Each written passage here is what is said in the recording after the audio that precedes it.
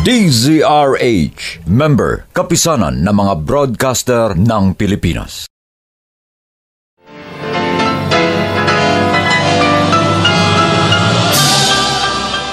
Buong karangalang inihahandog ng DZRH para sa bagong milenyo ang isa pang magandang dula mula sa panulat at direksyon ni Salvador M. Royales.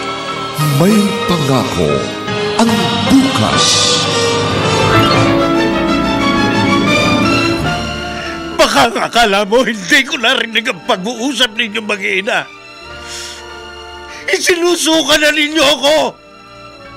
Nanghihinawa na kayo sa akin. Ganito talaga pag matanda na. Pag wala na kaming silbi, gusto ninyo tabunan na kami sa hukay.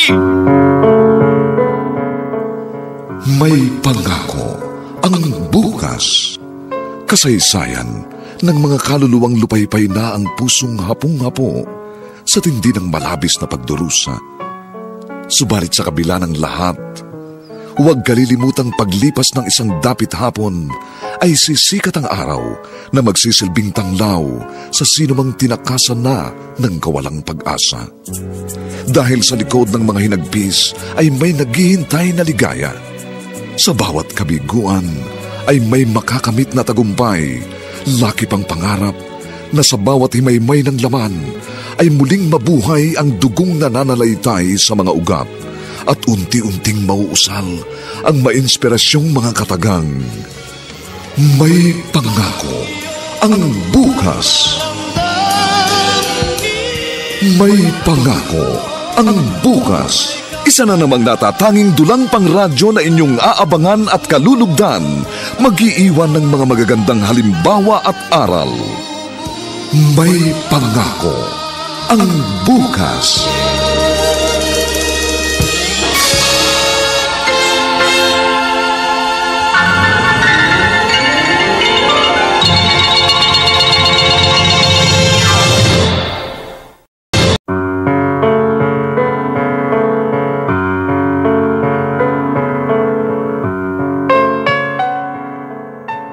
Magandang umaga pong muli sa inyong lahat, mga kaibigan. Narito na po ang huling kabanata ng ating tampok na kasaysayan sa linggong ito, pinamagatang Gusto nyo tabunan na kami sa hukay. Dito pa rin, sa ating natatanging dunan,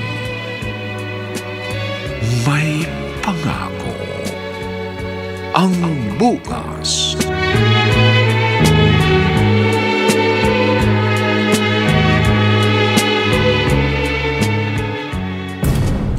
Nicole! Nasaan ka?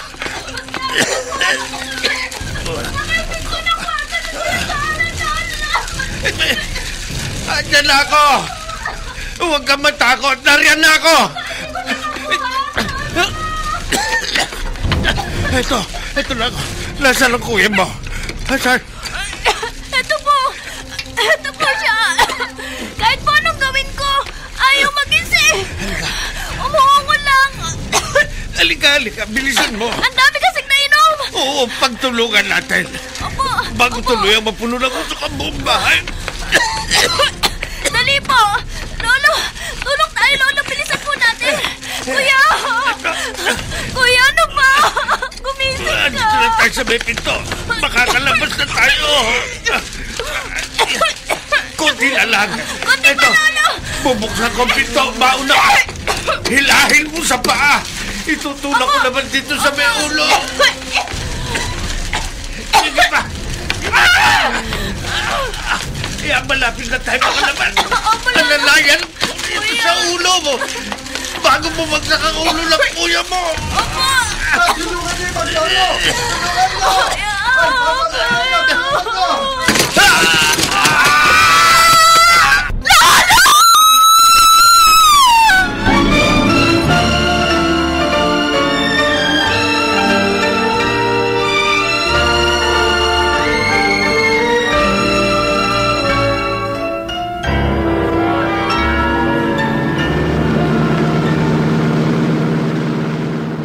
Pasensya ka na, Mildred. Delayed ng mahigit dalawang oras ang schedule ng pagdating namin sa airport. Oo nga, Reden. Inip na inip ako eh. Pero mas mabuti na rin ang nangyari. Na-detect agad ang technical problem ng eroplano nang mag-stop over kayo sa Hong Kong. Kung hindi eh, baka kung ano pa nangyari. Nasa inyong dalawa, hindi mo kasama. Eh, nasa party si na Nicole at Soren nang umalis ako sa bahay. Eh, mag-aalas dos na pala. Sigurado, himbing na ang tulog ng dalawang yon pagdating natin. Aba, ah, ah, mamang driver, bakit madaling araw na matraffic pa Eh, rin? ma'am, may sunog yata. Ha? Oo nga, parang, parang may sunog na. May mga sirena ng bumbero ko naririnig. Eh, tag-araw na naman ho, sir. Usong-uso na naman ang sunog. Sinabi niyo pa, Manong, kailangan konting ingat. Sabi nga, manakawan ka na ng sampung beses, huwag ka lang masunugan. Malayo pa ho ba dito sa inyo, sir? Medyo malapit na. Pagkanan sa kantong yan, tanaw na. Reden, tingnan mo oh. Parang sa lugar yata natin yung sunog. Ha? Baka isa sa mga kapitbahay natin. A- ang mabuti pa, bumaba na tayo rito. Eh. Bitbitin na lang natin ang maleta mo. Bigla akong kinutuban, Roden. Malakas ang kabog ng dibdib ko.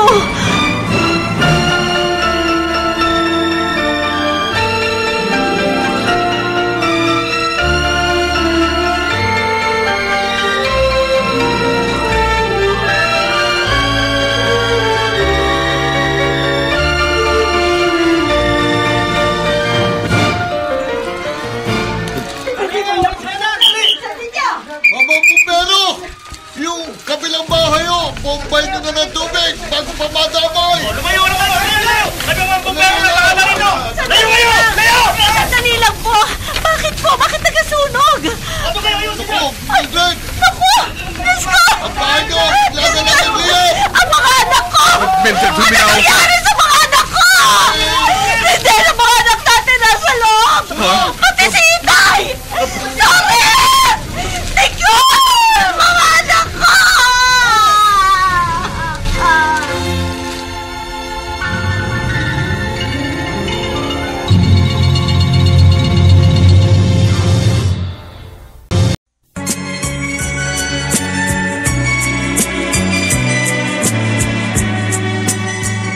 ngayon, balikan natin ang tampok na kasaysayan sa ating dulang. May pangako ang bukas.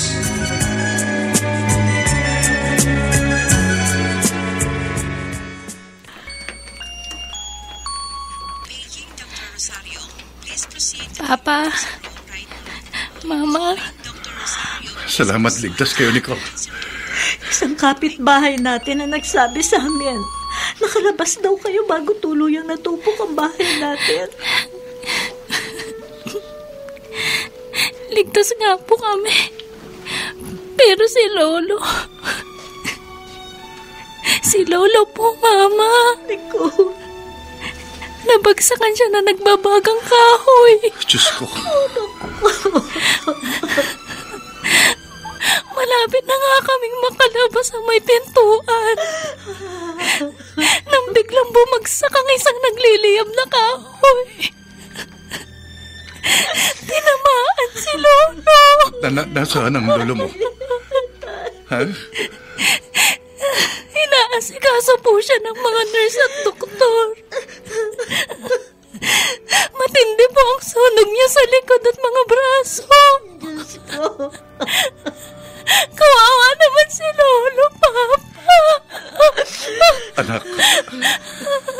bang ang lolo ninyong nagligtas sa inyo ng kuya mo? Opo. Kasi bagsak po si Kuya sa kalasingan. Lan- Naparami ang nainom niya sa party. na nasaan ang kuya mo ngayon, Nicole? Nasa emergency room rin po. Marami rin siyang paso sa katawan. Kasi hinila lang namin siya. Iyak din po siya ng iyak nang malaman niyang si Lolo ang sumaklolo sa amin. Tayo na. Dali. Gusto ko makita ang lolo ng kapatid mo.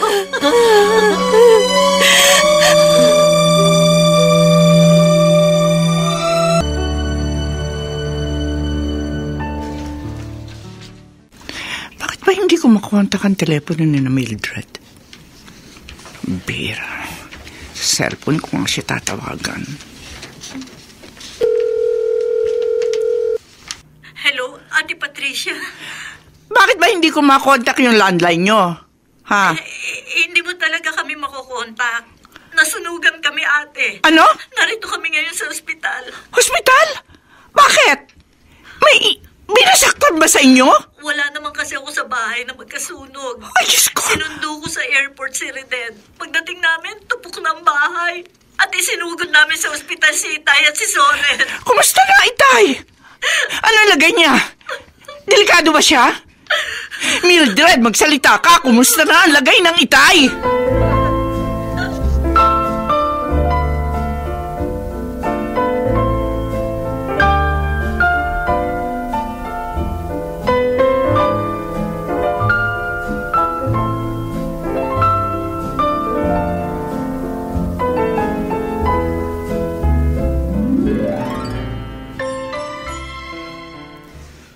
Zorin, ba't hindi mo ko tinex na nasunugan pala kayo? Kung di pa ako pumunta sa lugar nyo, hindi ko malalaman. Pati cellphone ko. Hindi ko na nalaman kung saan napunta, RJ. Buti, yun lang mga sugat na inabot mo. Kung hindi ako sinakluluan ng lolo ko, kasama sana akong natupok ng bahay namin, tol. Ang lolo mo nagligtas sa'yo? Oo. Bagsak kasi ako sa kalasingan. Umatid kami ng kapatid ko sa party. Kahit anong gawin nila, hindi ako magising. Halo-halo na kasi ang ininom ko. May hard, may beer, may imported. Nasobrahan ako. Piruin mo. Ang lolong kinaiinisan ko. Siya pang nagligtas sa buhay ko. Sinabi ko naman sa'yo eh, makulit lang ang lolo mo. Kasi nga, matanda na. Pero tulad ng lagi kong sinasabi sa'yo noon pa, walang lolo na hindi nagmamahal sa kanyang apo. At ngayon, napatunayan mong totoo ang sinabi ko.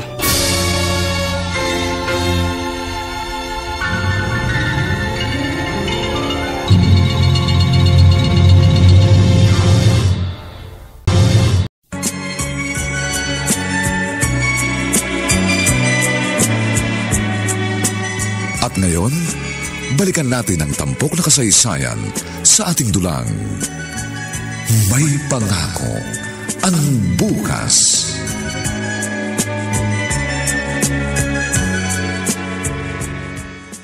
Mildred, Ate, oh, ano, kumusta, Itay? Gusto ko siya makita. medyo maayos na ang lagay ng Itay, Ate Patricia. Pero nakadapa siyang matulog. Bakit? Third degree burn ang mga paso niya sa likod. Nilinis yun ng doktor at tinanggal ang mga balat at laman na na-damage. Naka-IV siya. Doon na rin idinada ng kanya antibiotic. Ano ba nangyari? Bakit nagkasunog? Kasalanan ko po, tita. Anong kasalanan mo? Kasi nga po nalasing si Kuya Soren. Oh. Nanghihingi siya sa akin ng kape. So nag-init ako ng tubig. Nakatulugan ko na siyang naging sanhi ng sunog. Sabi ko nga, buti na lang at nagising ang lolo nila. Kung hindi, tatlo sana silang kasamang naabo. Kasama ng bahay namin.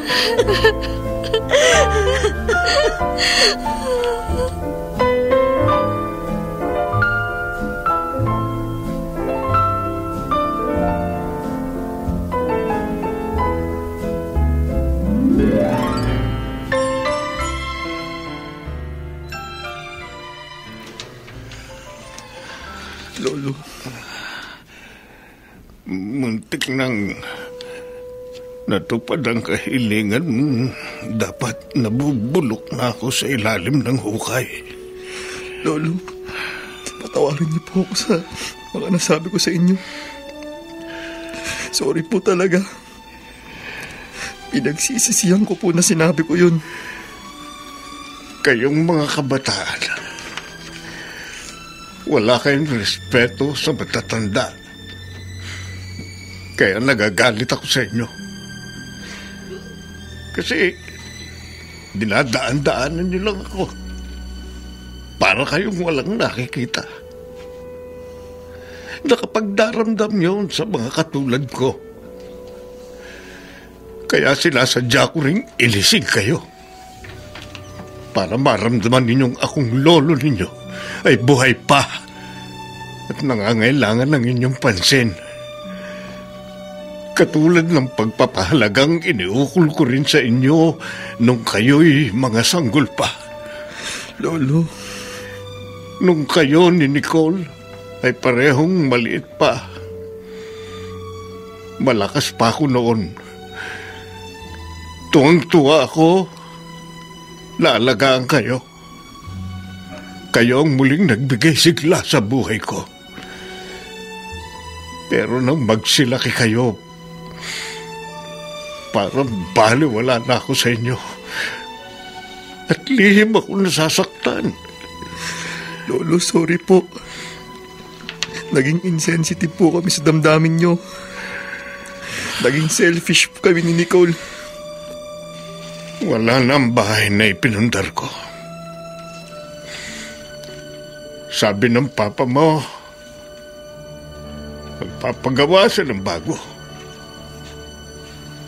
Kami naman ng tita Patricia mo, nag-usap na kami. Paglabas ko dito sa ospital, sa kanya na ako titira. Lolo, wag po. Ang gusto ko po doon pa rin kayo sa amin. Gusto ko po kasama pa rin namin kayo. Kung iiwan nyo kami, paano pa kami babawi ni Nicole sa inyo? Paano pa namin masusuklian ang ginawa ninyong pagliligtas sa amin? Hindi niyo na ba kaiinisan ang pagpapansin ng isang matandang katulad ko? Hindi na po, Lolo. Alam na po namin ang aming obligasyon bilang apo. Kaya huwag kayong aalis sa pamilya namin. Nakikiusap po ako. Ngayon pong natauhan na kami ni Nicole, sama-sama po tayong tatanaw sa masayang pangako ng bukas.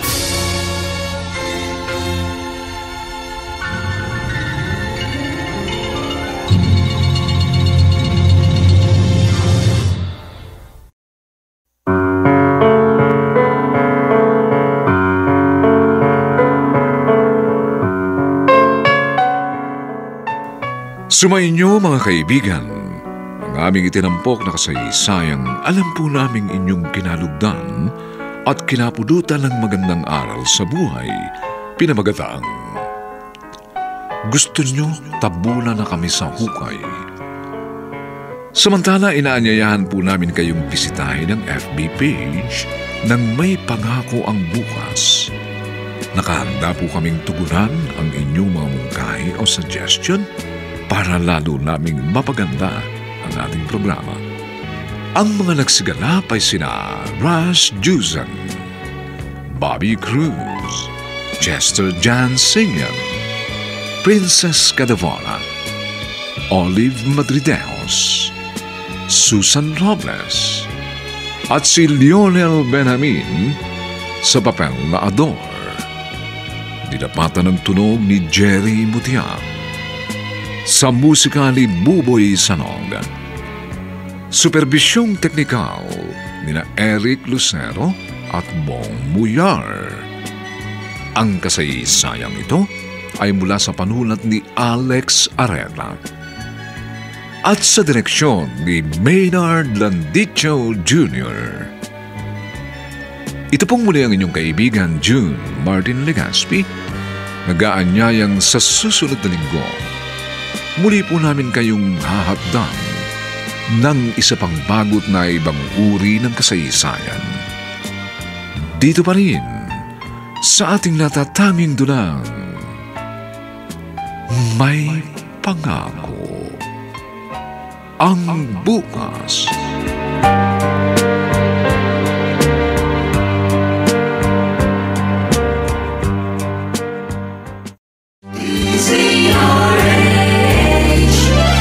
DZRH, member, kapisanan ng mga broadcaster ng Pilipinas.